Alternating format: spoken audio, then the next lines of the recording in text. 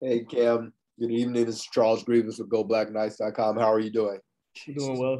I'm doing well, sir. How are you doing? Great, great. Just a couple questions for you. Uh, you know, Coastal spread option uh, offense average, I think, approximately about 40 points, about 490 yards a game last year, and was ranked fifth nationally in total offense overall, and fourth in scoring offense, if you will.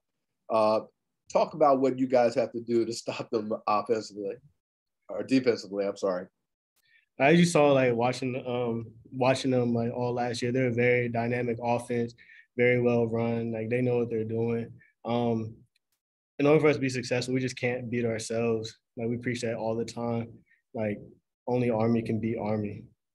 Great. And again, you talk about they have a veteran team coming back offensively. Uh, their quarterback, uh, Grayson McCall, is the real deal. Uh, what have you noticed about uh, what he brings to the table in, in terms of studying his film, uh, studying the offense? Uh, he definitely he know like he runs um, their offense very well, like perfect fit basically, and he has control of he has control over everything. Great, thank you very much. Hey Cam, Ken McMillan with the Times Herald Record. How's it going? Good. Hey, do you like starting the season with a game like this? Um, definitely, sir. It's always a, it's always great to start the season off with a challenge. It's a great test to see where your team, where the team is physically and mentally heading into the uh, remaining of the season. Mm-hmm. Would you say it was a good camp? Uh, I would say it was a great camp. We have a, a lot of freshmen who caught our eye and um, exceeded our expectations right away, which is a good, always a good thing because depth is always um, our friend. Mm-hmm. How do you feel about the de- defensive secondary?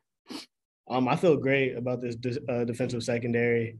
Um, yeah, it's basically the same as last year, uh, minus Sid and Julian, but we have Bo and uh, Q Hammond stepping up, fill right in uh, where we left off. Mm-hmm. What should be the expectations for Army this fall? Um, I guess you guys will find out. well, I mean, okay, then get, just give me a, a, pulse of the team. Is this team like uh, excited or kind of like oh, trying to figure out? Yeah, team is definitely excited. Uh, to be honest, I feel like we're more close, more uh, bonded more than um, we were last year. Honestly, I think I think we'll do very well this year. Was that necessary? Was that something that you guys kind of set out as a goal? Um, it's always a goal, like on any team you're on. Like the closer you are, the more you know your team, the better off you will. You like better off you will be. I know you've been practicing for three weeks, but what's it like to wait this long to finally play ball? What's the anticipation like?